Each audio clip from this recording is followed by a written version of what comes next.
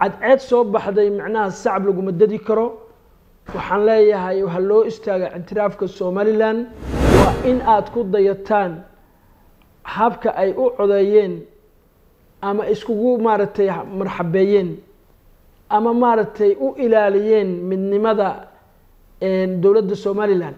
Inaad halkaa uga dayataan meesha aada mooshin iyo hebel hala rida aada ku mashquulaysaan. Hadda wixii wanaagsan waa in looga daydaa qofka walaalka ah somalilan dowladnimadeeda banaankaas bay taala caalamka aqoonsan somalilan oo heshiisa caalamkana la heshiisa ilaahayna la heshiisa mucaarad iyo muxaafad isa saxa qaladaadka gaamka jira iska saxa ka wada shaqeeya horumarka wanaagga sharafta darajada runtii ilaahay ha ka dhigo. Runtiina waa nabarkii daaweynayey ama daawadii laascaano runtii waa somalilan oo iswadata ayaa halkaa ka soo baxday oo mucaarad iyo muxaafadba leh. Runtii mucaaradkuna waa ku mahadsan yahay sida sharafta leh oo markii laga guuleystay uu ugu mahad celiyey walaalkiisi faratoon maxamed deeq. Su'aashaa isweydiinaya waxaan lahaa garaad maxamed booskiisii yaa buuxinaya oo reer laascaana ah. Runtii ereygaas maanta waa iga haray ilaahay baa mahadale faratoon yaasiin faratoon ayaa buuxinaya dowladda somalilan shalay waxaa ka dhacay doorasho runtii aan dhihi karno. Waa tii caalamka kowka ayd ama labo oo waxay ahayd doorasho aada u daafuran dimuqraadiya oo maaragtay kalsami iyo kalsooni loo tartamay. Runtiina haddii la tartamo qof unbaa guuleysta mucaarad iyo muxaafadba ay ku dhalmaayeen. Qof waliba oo wakiilada golaha maaragtay somalilanna uu ilaalinayey darajada iyo sharafta iyo karaamada uu huwan yahay ama mas'uuliyadda uu shacabkiisa uu maaragtay mas'uul uga yahay dadaal dheer kadib waxaa soo baxay guddoomiyihii ku soo baxay guddoomiye yaasiin faratoon.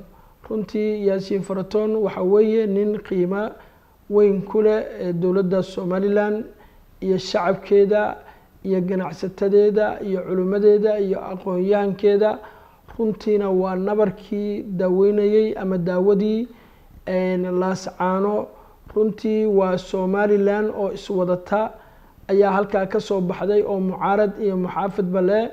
Runtii mucaaradkuna waa ku mahadsan yahay sida sharafta leh oo markii laga guuleystay uu ugu mahad celiyey walaalkiisi faratoon maxamed deeq ama xildhibaankii la tartamayey runtii sharaf iyo karaamo ayuu muujiyey caalamkana golaha wakiilada somalilan ayagoo isku duuban muxaafad iyo mucaarad fariin bay caalamka u gudbiyeen oo runtii aada loo aqbalay oo ah in si daafuran ay u codeeyeen halkaasna ay ka muuqato dowladdii somalilan waxaa kaloo fariin ay u direen dhammaan shacabka somalilan oo runtii shakigii maxaa dhici doona ahaana meesha uu ka baxay golihii wakiilada ay markaa doorteen. Si sharaf leh guddoomiyihii uguna hambalyeeyeen marka waa fariin aada u wanaagsan. Waxay caddeyneysaa somalilan inay hawadaa gashay oo caadda ay mareyso oo caalamkii ay la sheergaraynayso waxaa soo dhawaaday runtii oo meel dhow jooga. Amarka ilaahay unbaa dhiman qadarta ilaahay aa dhiman kun fa yakuun ilaahay oo yidhaahda ilaahay baana weydiisanaynaa waa ictiraafkii somalilan. Runtii aada iyo aad baan ugu mahad celinayaa waxaan kaloo u mahad celinayaa madaxweynaha jamhuuriyadda somalilan mudane muse muuse biixi cabdi oo runtii xildhibaanadii codeeyey mucaarad iyo muxaafid iyagoo isku duuban. Runtii aada iyo aada golihii ku qaabilay xaruntii madaxtooyada.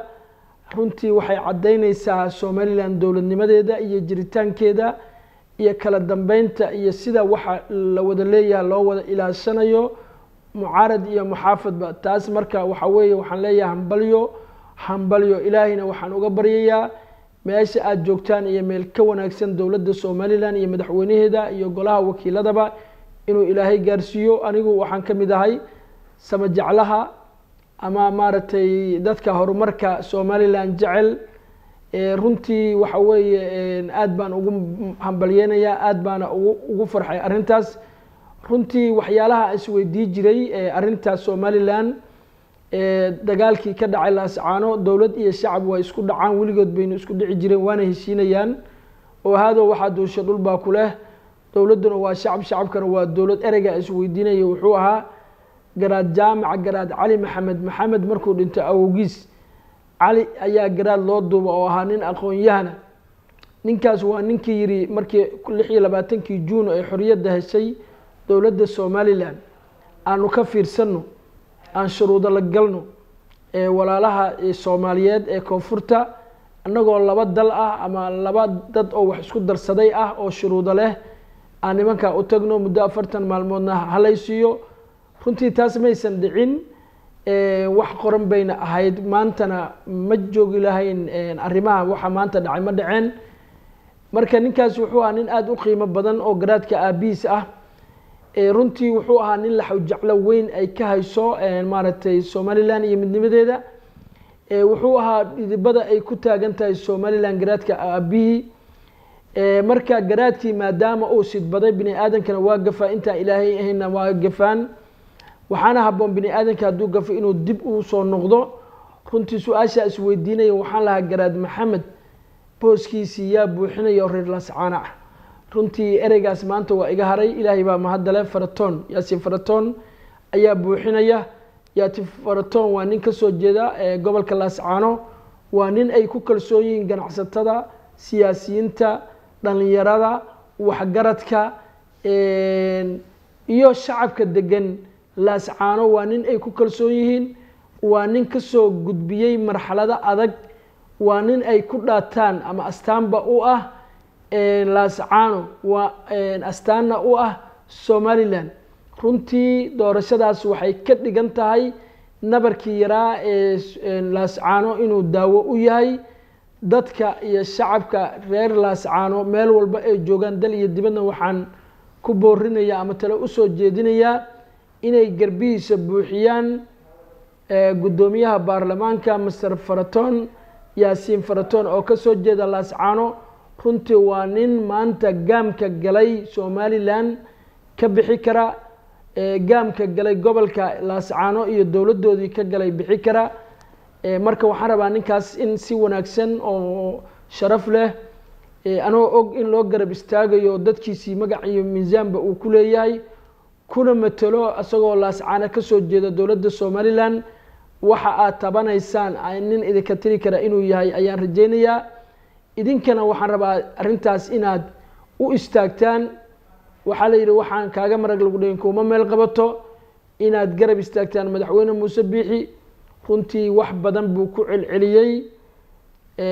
Nabad inaan gogol fidiyo wax aan ahayn ma garanhayuu yidhi waxa weeye hadalkaas waa hadal aada iyo aada u macno weyn.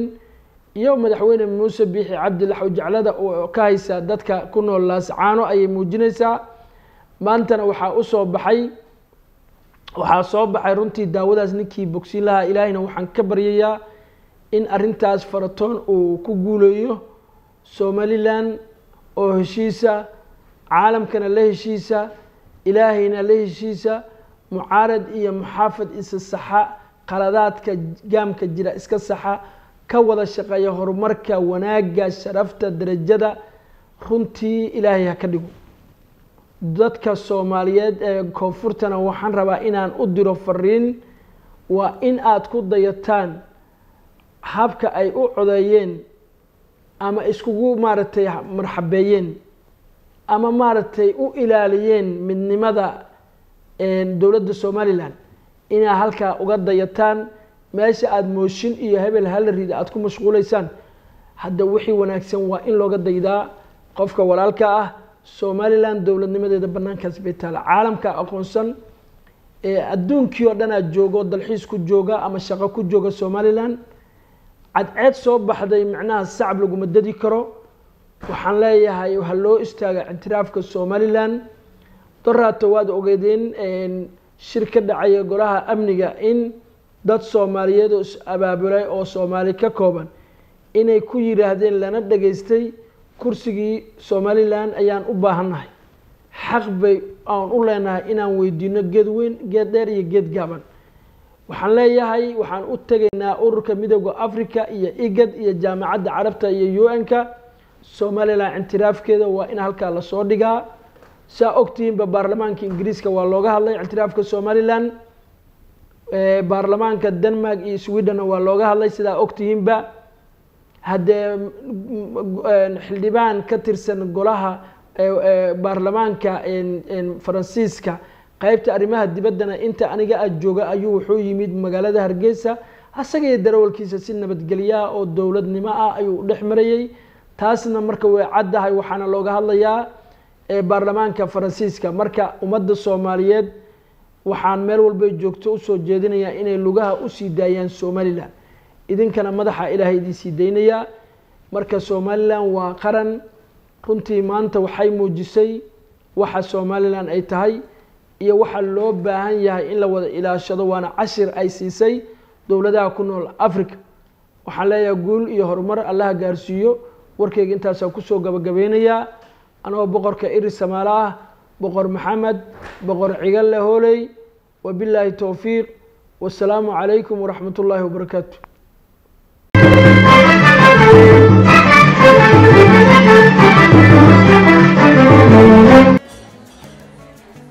واو اسبوعك في عين صاحبي waad ka heshay sooma ما شاء الله صح ما عادش بسيط waxaan ku shubtay xidhmo furan toban doolar baad ku shuban kartaa shan baad ku shuban kartaa shan iyo toban baad ku shuban kartaa labaatan baad ku shuban kartaa